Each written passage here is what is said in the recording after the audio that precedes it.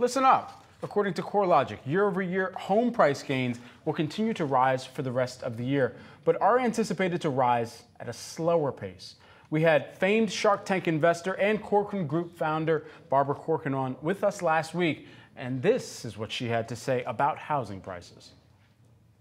I think the prices are going to go through the roof, especially if interest rates come down another point by year end. I think everybody and their mother and their in laws is going to come out looking for a new house.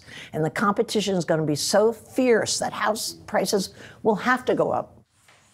Let's bring in Selma Hepp, who is the CoreLogic's chief economist, to discuss more. Selma, great to see you. Thanks so much for taking the time here with us today.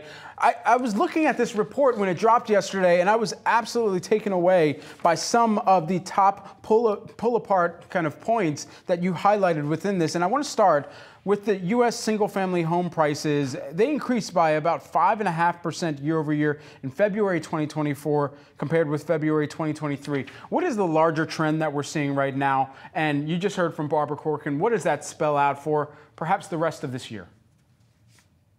Um, sure. Well, first of all, thanks so much for having me. Um, so home prices were up 5.5% in February um, and that's actually a smaller increase than we saw in a month before. Hmm. And we will likely uh, continue to see this slowing trend throughout the remainder of the year as we move away from the bottom of home prices in January of 2023. Because we were comparing to that those low prices at the end of 2022, in, coming into January 2023, uh, home price growth kept accelerating. And now we've reached that peak. Uh, we're pivoting and we're going to see slowing of annual rate rate of growth. But what was really interesting to me in this February report too is that uh, in monthly increase uh, from January to February was exceptionally strong. It was actually up 0.7%, uh, which is almost double the rate that we usually see between these two months, or at least have prior to the pandemic. So uh, that's telling me that we are off to a really strong start uh, in terms of home prices in 2024. Are there any material differences you're seeing right now with relation to existing homes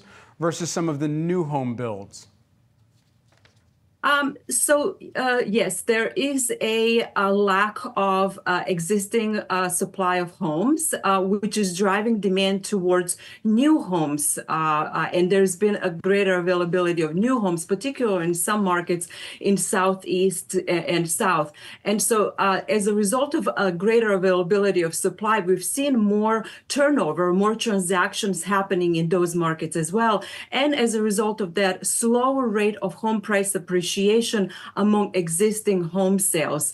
Um, so particularly when you look at where home sales uh, price growth has been the slowest, it's actually been in some of the markets in Texas where we've seen an influx uh, of new construction. For those buyers who are wading into this market right now and trying to get the best deal possible, at the same time where sellers are trying to make sure that they're realizing the best price you know, where are you seeing this push and pull? Where are negotiations netting out at? And, and how do we expect that to matriculate as we get into the peak spring buying season as well?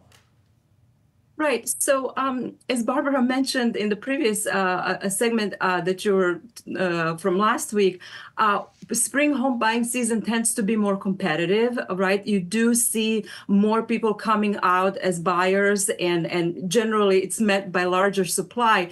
What we've seen over the last couple of years is that more buyers come in than sellers, which uh, tends to put pressure on home prices. As a, as a result of that, we've seen such strong home price appreciation, and I think we are already seeing that to some extent this year, uh, just given the rate of home price appreciation that we saw in February. So definitely uh, again, more competition in the market, which tends to drive uh, um, price bidding on, on homes and, and home price appreciation higher. The CoreLogic forecast, that, that struck my attention. It shows that annual U.S. home price gains will relax to 3.1% in February 2025. There's, there's a good deal of time between now and then. And so, what are some of the main catalysts that are going to drive that, that relaxation down to that 3.1% that we're tracking towards?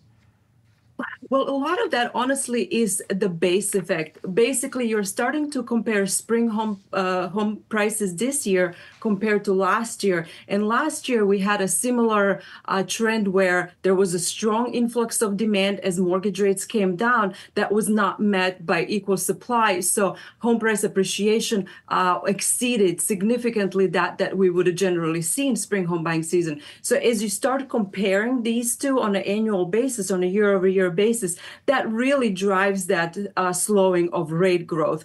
But when it comes to monthly gains in home prices, I think again we're going to likely see continued uh, strong appreciation going into uh, next few spring home uh, spring home buying se- season, and then those uh, that rate of appreciation slows general generally in the latter part of the year. You know, Selma, just lastly, while we have you, I wonder when you hear about the Fed potentially looking at less cuts than expected coming into this year, how do you factor that, that into the, the home market calculus? Right. Unfortunately, uh, less cuts mean higher mortgage rates as well. Uh, and we've already seen that play out in the market. I mean, as soon as mortgage rates increased in 2022, we saw a significant drop in demand. Um, now, what's interesting about this cycle is that we still have more demand than we have supply, so that continues to drive home prices higher.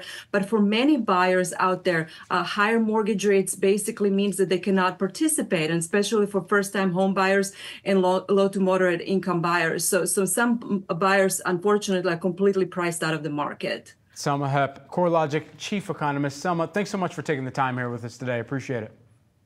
Thanks for having me.